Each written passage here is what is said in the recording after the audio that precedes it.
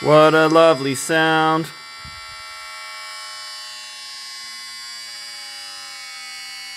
So, this is my nice little knobby controller. You can see that uh, it's quite detailed.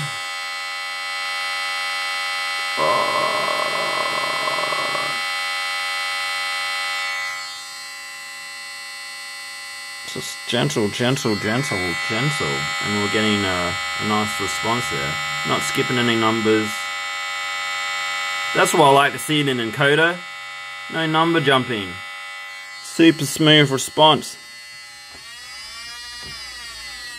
With a bit of inertia in there.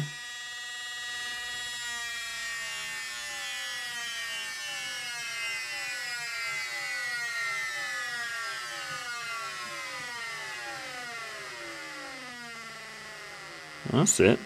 What does this guy do? Uh, I made it do some things.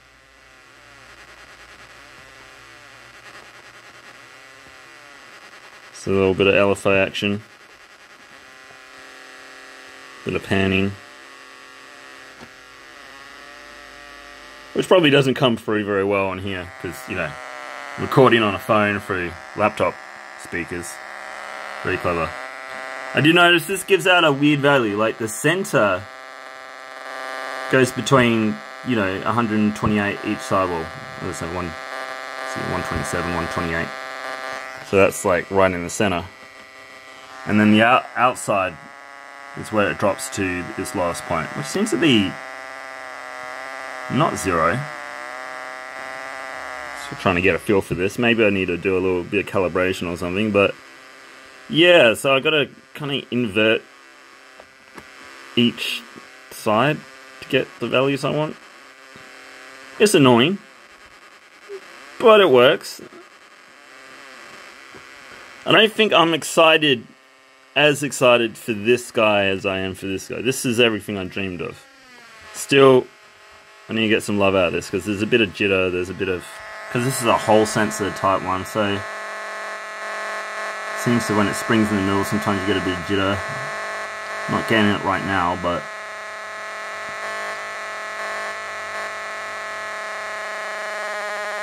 and I only seem to get, you know, seven bit bit each side. What's that? Let's.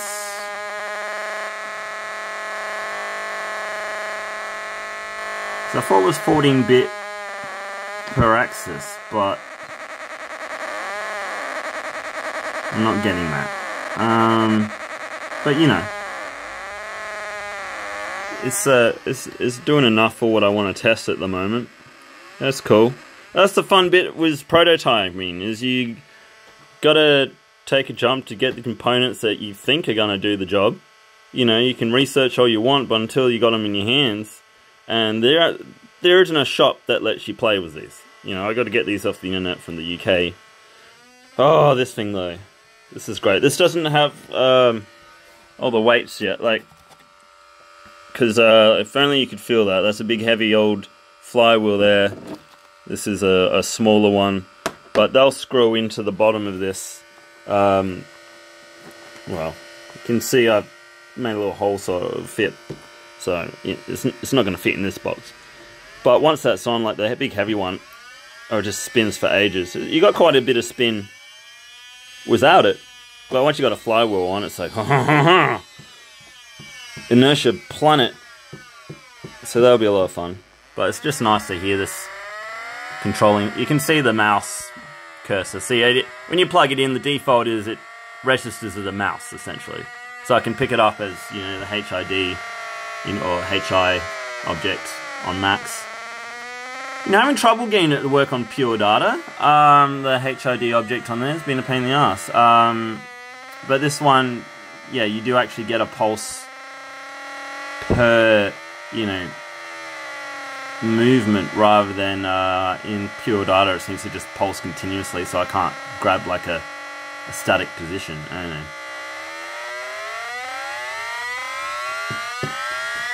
How high can you go?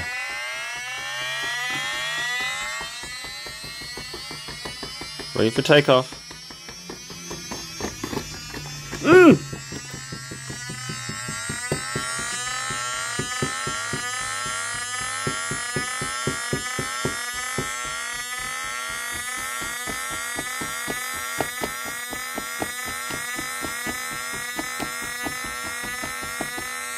Frequency am I at here?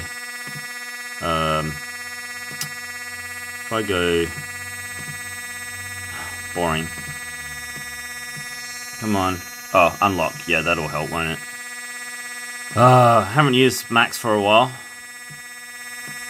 I mean, it's, it's same thing would happen with Pure Data, but anyway, it was like 18k, 20k.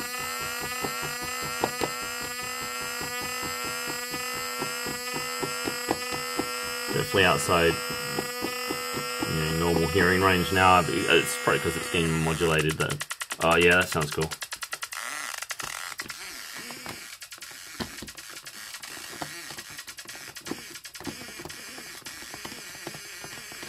So you get, you actually get quite a nice. I take it back. You you do get quite a nice detail in this. Like I'm just doing like light wobbles here. You can hear it, right? I assume you can hear it on the phone.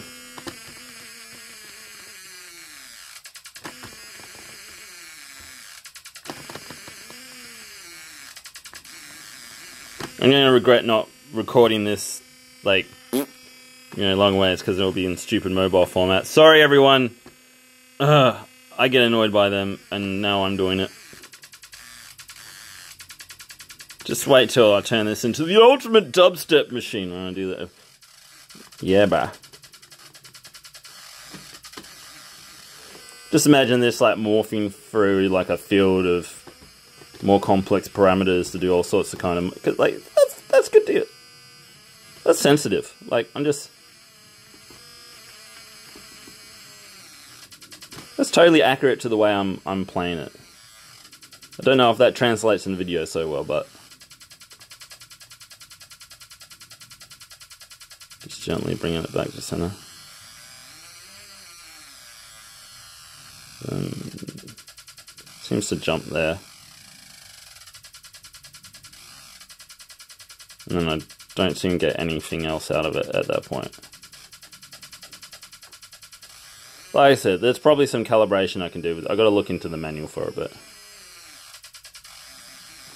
In terms of like the sensitivity of it, though, that's great that I can do that. Because sometimes, like when I'm playing, like all I want to do is like,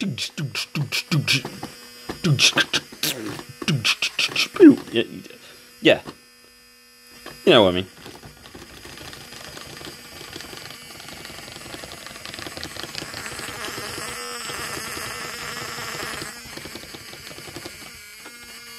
Thanks for watching. I'm gonna do this all day.